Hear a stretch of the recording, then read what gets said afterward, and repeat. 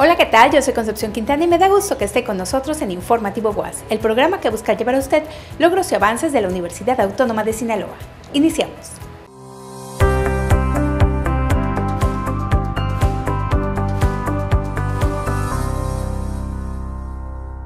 La salud humana está estrechamente ligada a la salud animal, así lo afirmó el doctor Narro Robles al participar dentro del Congreso Internacional de Higiene Animal. Con la finalidad de trabajar conjuntamente en beneficio de la salud de la población sinaloense y dar oportunidades de formación a los estudiantes del área de la salud, la Universidad Autónoma de Sinaloa, representada por su rector, doctor Juan Elogio Guerraliera, y la Secretaría de Salud del Gobierno Federal a través del doctor José Narro Robles, firmaron convenio de colaboración. En los tiempos actuales es vital que podamos hacer un uso más eficiente de los recursos disponibles y sumar capacidades que permitan multiplicar los resultados. El secretario de Salud, José Narro Robles, manifestó que este es un acto simbólico, un acto de voluntad que conlleva un enorme compromiso de trabajar unidos para servir a la población del Estado. Para todos los estudiantes universitarios que tengan que ver con la salud, tenemos que encontrar una forma de darles un espacio en el pregrado y en el posgrado, lo decía el señor rector, para hacer un espacio para el avance del conocimiento Universidad Autónoma de Sinaloa.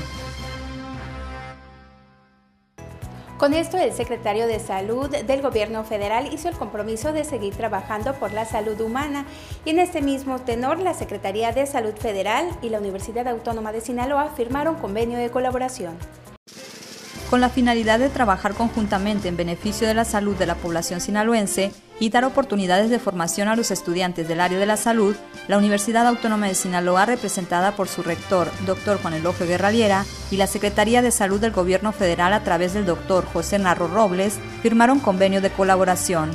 A partir de este documento se podrán establecer acciones que faciliten la prestación del servicio social, campos clínicos e internado médico, de los alumnos de las escuelas y facultades de nuestra institución.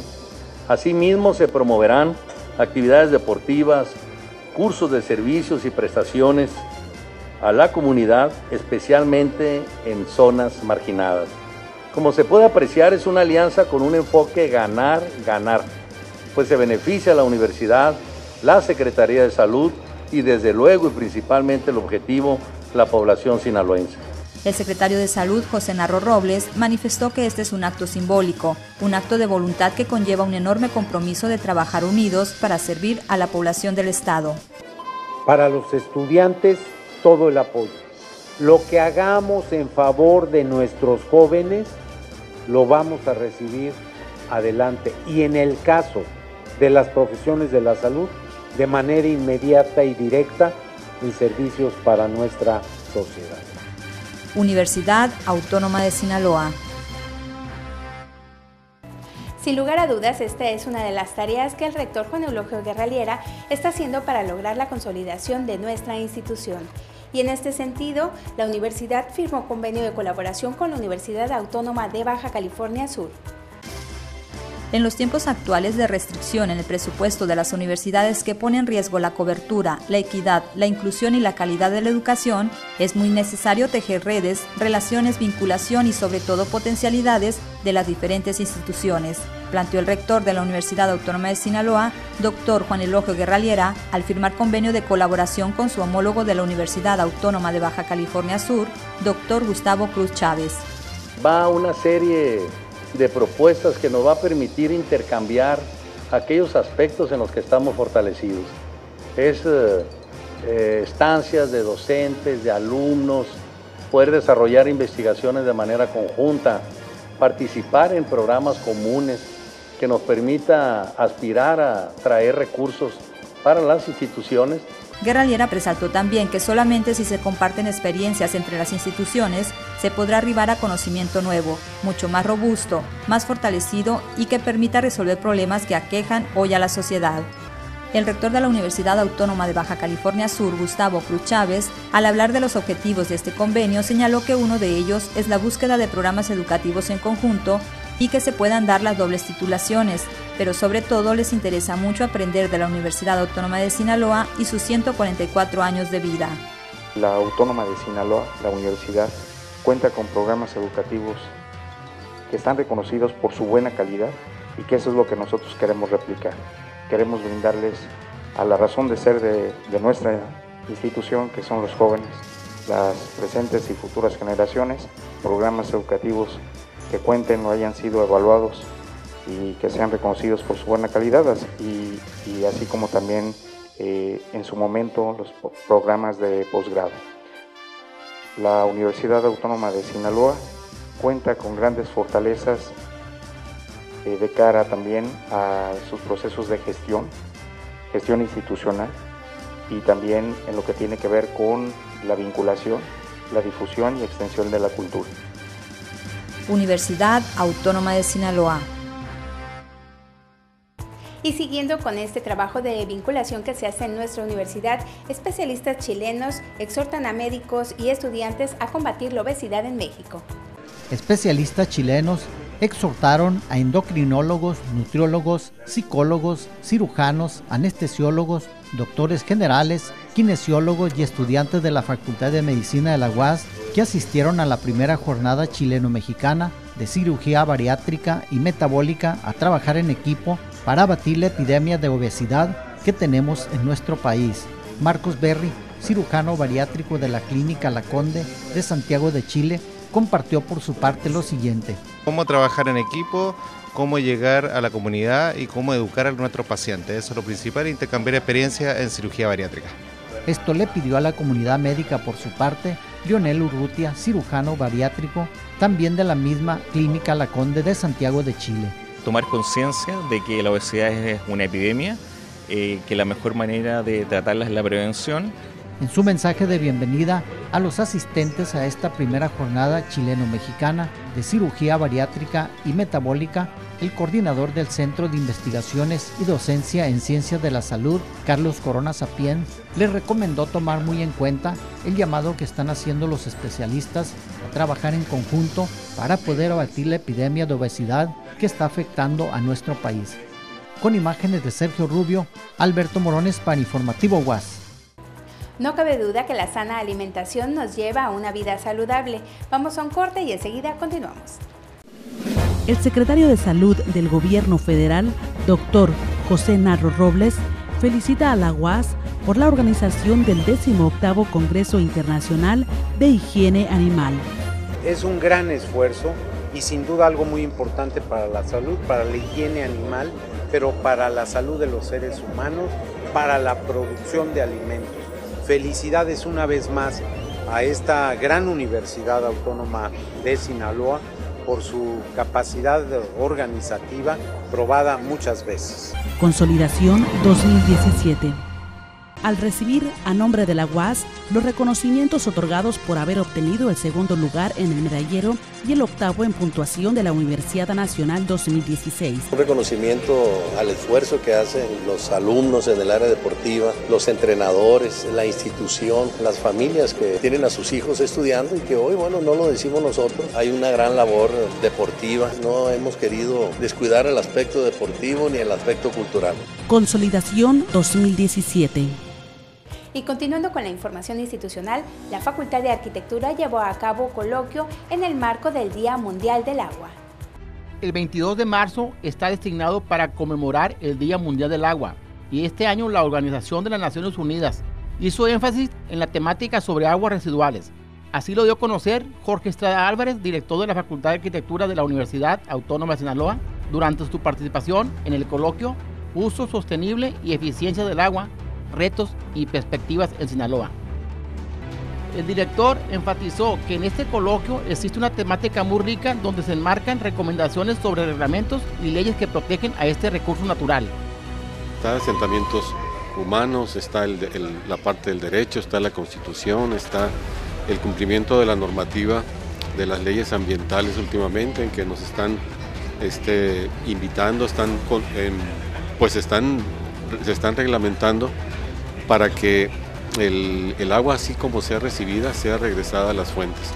Por su parte, el maestro Leonardo Ayala Valdenegro, representante de los cuerpos académicos, ciudad y región, comentó que el principal reto de la humanidad es el de conservar, preservar y manejar adecuadamente el recurso hídrico fundamental para la vida en el planeta. Que no es precisamente renovable, que por lo tanto tiene su, su, capacidad, su límite eh, eh, máximo de servicio y eso tenemos que atenderlo de manera, de manera urgente. Urgente me refiero a, a no dejar de abordar como un tema prioritario en el quehacer de la vida del hombre. Con imágenes de Heidi Cázares, para Informativo UAS, Miguel Rodríguez. En la Dirección de Prestaciones Sociales se refuerzan acciones para brindar seguro facultativo a estudiantes que estén por ingresar a la Universidad Autónoma de Sinaloa. Prepara la Universidad Autónoma de Sinaloa por medio de la Dirección de Prestaciones Sociales al personal del área de servicios escolares y directores de diferentes unidades académicas. Esto con el compromiso y la responsabilidad de otorgar el seguro facultativo a estudiantes que están por ingresar a la UAS y llevar un control de afiliación. Tenemos una capacitación con ellos y con los eh, directores de cada unidad para que ellos pasen la voz y para que ellos tengan la información de cómo accesar a la página del Seguro Social y que cada esos aspirantes o esos que van a ingresar, esos que se van a inscribir, ya tengan su número de afiliación al momento de inscribirse. En cuanto a las facultades que han recibido la capacitación, nosotros ya iniciamos la capacitación aquí al sur, Mazatlán, con todos los encargados de, servicios escolares. Eh, estuvieron como 60 personas encargados de servicios escolares y algunos directores de las unidades académicas, al cual se les dio una capacitación de en qué consiste todo esto de la afiliación, cuáles son los beneficios, las grandes ventajas que se llevan con esto, tanto en lo de su seguro de social, porque es importante que tengan una cultura que el estudiante tiene que revisarse, checarse cada seis meses. Con imágenes de Aurora Díaz para Informativo WAS, América Castro. Sin lugar a dudas, este es un apoyo histórico que hace nuestra universidad en beneficio de los estudiantes. Y en otro orden de ideas, tenemos que alumnos de la Escuela de Artes Plásticas llevaron a cabo el primer concurso Arte y Agua se puso en marcha el primer concurso de artes plásticas Arte y Agua, organizado por la Universidad Autónoma de Sinaloa a través de la Unidad Académica de Artes Plásticas, en coordinación con Operación Ambiente IAP, Institución de Asistencia Privada, teniendo como galería el espacio de la Plazuela Obregón. Esta posición se, planteó para reflejar el tema del problema del agua que, tenemos, que estamos teniendo actualmente, para incentivar la participación de los estudiantes de la Escuela de Artes Plásticas se hizo como concurso, dando tres primeros lugares eh, y cinco menciones honoríficas. Eh, también es para incentivar la proyección de los estudiantes y para mm, dar a conocer lo que es la visión y misión de la Escuela de Artes Plásticas. Por su parte, la directora de Operación Ambiente, Clarisa Guillén Parra, destacó que los artistas manejaron una temática libre en sus obras. Es una doble función porque al mismo tiempo que invitas a la ciudadanía a acercarse al arte, la, involucras al arte a, a hacer conciencia para el cuidado y uso responsable del agua y también los alumnos de la Escuela de Arte eh, consideramos importante se involucren en la problemática social.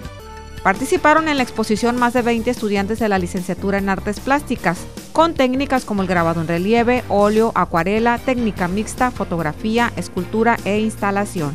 Para Informativo UAS, Aurora Díaz. Es de suma importancia que nuestros alumnos creen esa conciencia del cuidado del agua. Vamos un corte y enseguida continuamos. El secretario de Salud del Gobierno Federal, doctor José Narro Robles, felicita a la UAS por la organización del 18 Congreso Internacional de Higiene Animal. Es un gran esfuerzo y sin duda algo muy importante para la salud, para la higiene animal, pero para la salud de los seres humanos, para la producción de alimentos. Felicidades una vez más a esta gran Universidad Autónoma de Sinaloa por su capacidad organizativa probada muchas veces. Consolidación 2017 al recibir a nombre de la UAS los reconocimientos otorgados por haber obtenido el segundo lugar en el medallero y el octavo en puntuación de la Universidad Nacional 2016. Un reconocimiento al esfuerzo que hacen los alumnos en el área deportiva, los entrenadores, la institución, las familias que tienen a sus hijos estudiando y que hoy, bueno, no lo decimos nosotros, hay una gran labor deportiva, no hemos querido descuidar el aspecto deportivo ni el aspecto cultural. Consolidación 2017 El Festival Cultural Interfaz que organiza la UAS y el ISTE se llevará a cabo a partir del miércoles 29 de marzo.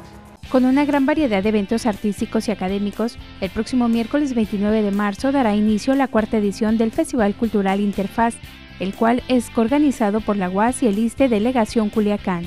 Es un, apoyo que nos estamos dando de manera mutua, este intercambio de, eh, de, actividades con nuestros espacios universitarios, no solamente para nuestros universitarios, sino con apertura al público en general, este, donde los eventos son totalmente gratuitos. Hay talleres, hay exposiciones, presentaciones de libros, mesas de debate, este, talleres desde poesía, de video, este, y que están realmente a la posibilidad de, de cualquier persona. En conferencia de prensa, María de Jesús Rendón Ibarra, titular de la Coordinación General de Extensión de la Cultura y los Servicios de la UAS, junto a representantes del ISTE, informó que gracias a los buenos resultados que se han tenido con este festival, la Casa de Estudios estrechará lazos con el ISTE. Debido a este gran éxito que ha tenido Interfaz aquí en la universidad, pues el rector ya está, nuestro rector Juan Elogio Guerra, pues está también por firmar un convenio con, con ISTE, que yo creo que será de gran beneficio para toda la comunidad, no, no solamente universitaria, sino en general. En esta reunión con los medios de comunicación, se dio a conocer que la inauguración oficial del evento será el miércoles 29 en punto de las 19 horas en la plazuela Antonio Rosales, en donde se estará presentando la agrupación veracruzana La Manta, los cuales conjugan varios estilos, entre ellos la música tradicional mexicana y el jazz. Con imágenes de César Uriarte, reportó para Informativo UAS, Concepción Quintana. Lo invitamos a que aproveche todas estas actividades programadas en el festival ya que serán totalmente gratuitas. Y dentro de la información tenemos que la universidad será sede de reunión de la Red Académica de Colaboración para la Investigación e Intervención en Psicología de la Salud. Este jueves 23 de marzo del año en curso, la Facultad de Psicología de la UAS será sede de la cuarta reunión de la Red Académica de Colaboración para la Investigación e Intervención en Psicología de la Salud, que reunirá aquí a especialistas de diferentes estados de la República. La conferencia magistral que va a tener eh, esta reunión está a cargo del doctor David Werner, eh, quien es una personalidad eh, importante en salud comunitaria, en rehabilitación eh, basada en la comunidad a nivel mundial. Entre los especialistas que estarán presentes en la reunión, Carranza Aguilar mencionó los siguientes. Participan ahí cuatro cuerpos académicos, el Cuerpo Académico Salud y Calidad de Vida de la Facultad de Psicología de la UAS, el Cuerpo Psicología de la Salud que es de la Universidad de Guadalajara, el Grupo de Investigación Mente-Cuerpo de la Facultad de Psicología de la UNAM y el área de procesos psicosociales de los fenómenos colectivos de la Universidad Autónoma Metropolitana Iztapalapa. Con imágenes de Sergio Rubio, Alberto Morones para Informativo UAS. Seguramente estos dos días de actividad serán de gran beneficio para los participantes. Y en otro orden de ideas, anestesióloga del CIDOX comenta sobre lo que es la analgesia epidural. La analgesia epidural en el trabajo de parto es una técnica que se utiliza frecuentemente y es recomendada por los especialistas porque disminuye el dolor casi en un 100%. Se llama epidural porque es en el espacio donde va eh, colocado el medicamento, ¿no? Se pone, se pone en la espalda. Antes de eso se realiza una limpieza para evitar pues introducir alguna germen dentro de la columna y allá adentro se deja eh, lo que es el medicamento y una pequeña manguerita muy delgadita que nosotros le llamamos catete por el cual se va a pasar el, el, resto de la dosis del medicamento y ese va a ocasionar a partir de unos 15 o 20 minutos después que haya una disminución del dolor. Indicó que de cada 10 mujeres con trabajo de parto que llegan al Hospital Civil de Culiacán, 7 aceptan se les suministre. Tiene la ventaja de que le va a permitir que la experiencia del parto pues sea una experiencia este, pues más feliz y menos dolorosa y traumática. Y también al bebé, como mencionamos, pues le ayuda en cuanto a su aporte de oxígeno que va a recibir va a ser mejor ya que la mamá no va a estar respirando tan frecuentemente por el mismo dolor que ocasiona el trabajo de parto. Con imágenes de César Uriarte, reportó para Informativo UAS, Concepción Quintana. Es así como finalizamos una emisión más de su programa Informativo UAS. Lo esperamos la próxima semana, a la misma hora y por el mismo canal. Hasta la próxima.